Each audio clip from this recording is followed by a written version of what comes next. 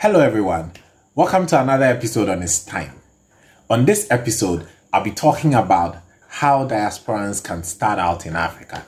I got a comment from one of my subscribers asking me to talk about how diasporans can start out in Africa.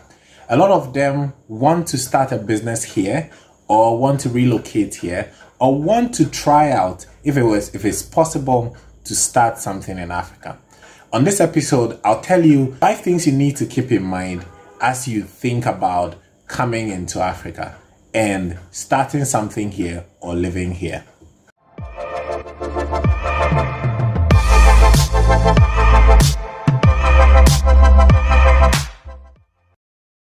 The first thing I would like you to keep in mind is in Africa, relationships matter. Relationship is everything relationships really, really, really matter. And so, my recommendation is start asking people who you know in wherever, which part, whichever part of the world you come from, who have roots in Africa, to introduce you to some people they can trust so you can connect with when you make the trip. It's always easier doing anything in this part of the world with relationships. Formality is good, but in Africa, relationships really count. So you may want to meet people from specific industries. I would say ask for referrals from the people you know who live on your part of the world. Even if they don't know a particular person to help you, they can definitely direct you to somebody who is close enough to the person you need to meet. Don't take relationships for granted. In Africa, it's all about relationships. I remember one time I needed a passport. The standard process is a month or so, but I needed it so urgently. I needed it in about three days. All I had to do was to call somebody who knew somebody at the passport office. Fact of the matter is, I got a passport in three days. So, I'm telling you, the most important thing as you think about transitioning to Africa, as you think about doing anything in Africa, is relationships. Relationships are more important than money. Relationships, again, are more important than how much money you have. You may have all the money in the world, but you cannot get the things that the relationships can give you. So keep that in mind. The second thing about Africa, in Africa, you need a lot of patience. There are certain things that standardly should take a week, two weeks, or whatever time stipulated. But it oftentimes go be, goes beyond the stipulated time. Sometimes a week more or two weeks more. But you need a lot of patience. You can say it's bad, but I would say things in Africa are done relatively different from how things are done in the West. Things are relatively slower, people are relatively more relaxed and not too much in a hurry, but you can get things happening relatively quicker with the right relationships.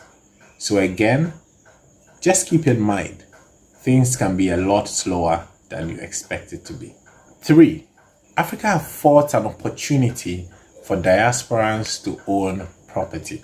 It's easy to buy lands and build houses and things like that.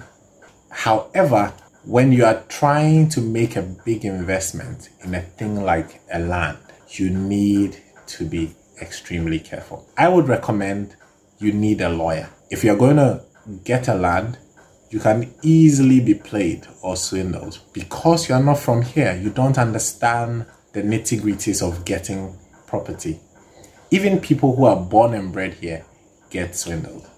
So, my advice to you get a lawyer, use stronger relationships, and use stronger guarantees of getting your money back or getting that property. Make sure you get a lawyer, is my advice.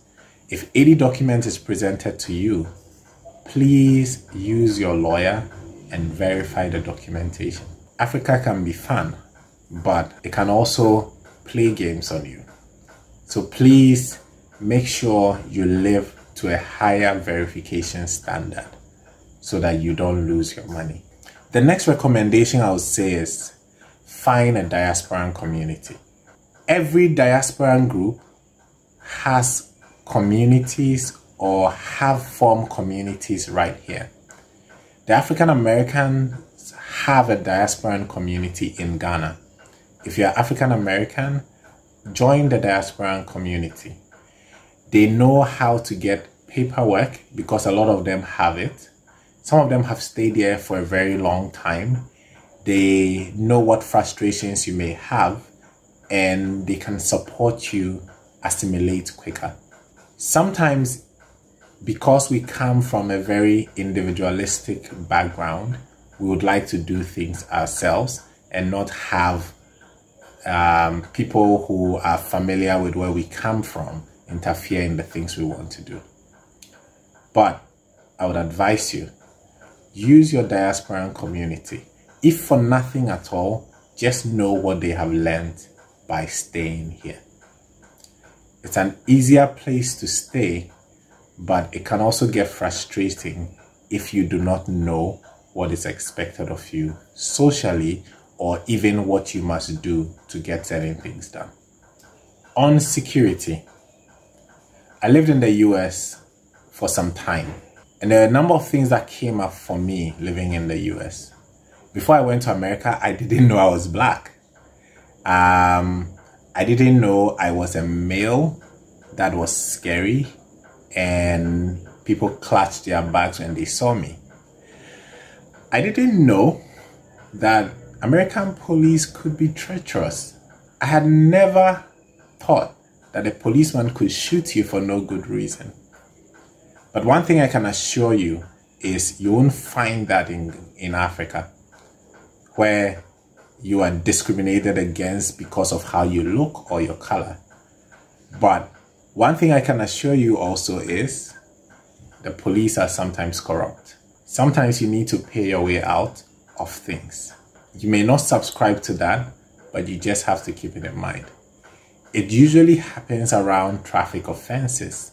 So if you take a wrong turn, instead of issuing you a ticket, you may have to part away with some money. Or you go through the tedious process of going to a police station and court and all those things. So these are the five things I want you to keep in mind as you think about relocating to Africa. But if there's any one thing I want you never to ever take for granted, it will be relationships. Relationships are key in your adventure of going to or coming to Africa. With the right relationships, you can settle seamlessly, have a great experience, a way better experience than most people will have. And so, take my advice. I was born here, I live here, I have been to your world, and you are coming to mine. I wish you all the best. And if anybody needs any help um, with getting a contact to somebody who lives here or somebody who can help you in any particular industry, shoot me a mail. If I can help, I would I would share with you any contacts I have. If I can't, I'll refer you to somebody else. But I wish you all the best. It's always better to have two homes than just one. If you like this video, I would recommend you subscribe, you write a comment, you ask a question, and you share it with other friends you have. I would like to hear from you on what you think and if you're planning to come here, which other questions you may have. I'll be happy to respond to every single person who sends a message. See you in the next episode.